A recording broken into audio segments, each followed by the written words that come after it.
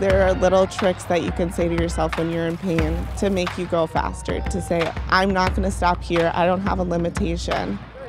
Today, we are honored to host conference, so that means everyone in our conference comes to our track, our home turf.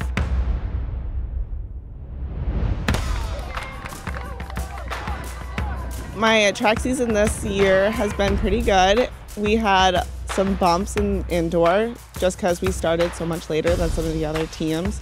We only had three meets, and I was grateful to make it to indoor nationals. And it was funny during my prelims, my shoe actually came off. My spike has a hole in the back of it, and she got her spike in there and then took it half off and then when I realized and felt that it was half off, I said, my spike is useless in my head. And I actually kicked it off so it didn't fall off. I kicked it off because it was half off. And then I just was really determined to make it to finals because I haven't competed in over a year. I was like, this is my time to go. And I did it even with that major obstacle. And then I had a big blister on the bottom of my foot and a puncture wound on my heel.